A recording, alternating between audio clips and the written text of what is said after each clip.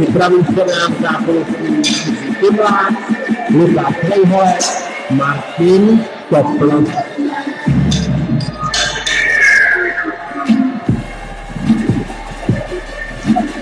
Nakladací čím připravil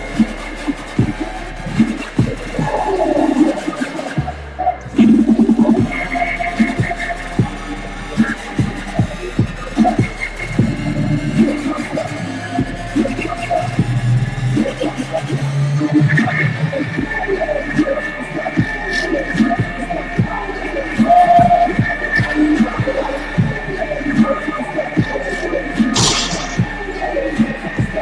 Newcastle. Pro Jiřího Klimu připravíme 185 kg.